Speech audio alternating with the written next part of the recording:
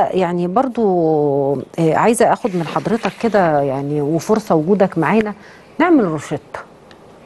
أنا أنا شخصيا عايزة روشتة وأعتقد إن أي حد بيسمعنا عايز روشتة. ففرصة الدكتور جمال معانا يقول لنا روشتة يومية للحفاظ على اللي هو صحة القلب بقى اللي هو صحة يا بص. حضرتك هي الروشتة دي للعيان. لا أنا مش عايزك يا حبيبي تبقى عيان أنا عايزك تبقى صحيح. فأنا هديك يعني مثلا إيه وصية وقائيه أو وصايا. وقائيه آه حماية. يا ريت.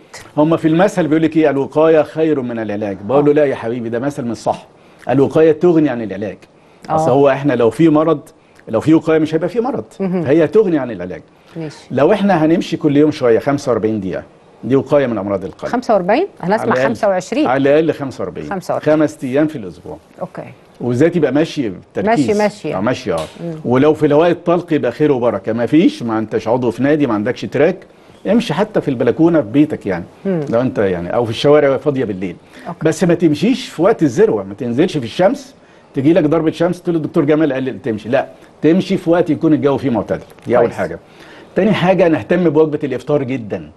لأن الناس بتهمل في وجبة الإفطار والأجيال الجديدة تلفي له السندوتشات ياخدها في المدرسة بيرميها في ال basket. لا عوديه يفطر قبل ما ينزل كويس. لو إن الإفطار ده بيحمي من أمراض القلب. طب عايزه أسأل سؤال في حتة الإفطار لأن الناس بتتبع نظام ال diet اللي هو الصيام المتقطع. ماشي. فده بيخليهم متأخر. الفطار يبقى متأخر. ماشي عادي. بس طيب، تفطري بيضاية تفطري مثلا زبادي سلطة شاي شاي حلو للقلب okay. حلوة للقلب بس تبقى بدون سكر. نقلل من الملح بقدر الامكان. أشرب كام فنجان شاي وكام فنجان قهوة؟ لغاية ثلاثة ثلاثة قهوة آه، ثلاثة مفيدة- شاي ولا. هما الاثنين مع بعض يبقوا ثلاثة يعني ثلاثة شاي ثلاثة قهوة بس هو هتبقى كتير لأن ممكن تعمل أرق. يعني بعد الساعة 6 ما تشربش ما. تشربش شاي ولا قهوة. آه. وخلي العشاء بتاعك بدري. 6 8 بالكتير. ما ينفعش العشاء اللي هو نص الليل ده. وجبة كاملة وأنام بعدها بساعة وأصحى نفسي مخنوق وعندي مشكلة في القلب. كويس. فلازم يبقى الفطار لو عايز تأخره ماشي يبقى العشاء بدري. كل كل الإفطار. اقسم نصف غدائك مع من تحب. ما تاكلش الغدا بتاعك كله. يعني الوجبة تيجي اقسمها كل نصها. العشاء بقى بصيل عدوك. لو واحد بتكرهه اديله. يتعشى. هتضره. فالعشاء يا ريت نلغيه. أو ناكله بدري.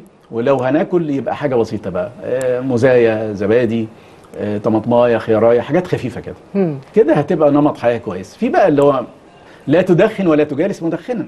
واحد يقول لك أنا عمري ما بدخن لكن المكتب كله مدخنين. أنت مدخن زيهم يا حبيبي. التدخين السلبي دلوقتي بيسموه second hand smoker التدخين بيد الآخر. آه. هو بيدخن لك. فده حقيقي. يؤذي. القلب والرئتين ويعمل سرطانات. فأبعد عن المدخنين. الثبات الانفعالي بقى والحالة النفسية. ما تزعلوش. لكن هنقول ما نزعلش إزاي. لا يعني نعتدل في المشاعر.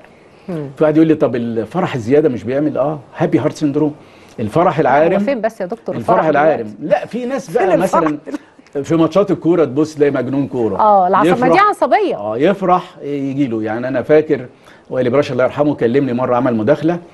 كان حد من اهالينا في الصعيد فرح بالجون بتاع القضية ممكن اللي آه. هو بتاع القفشه آه.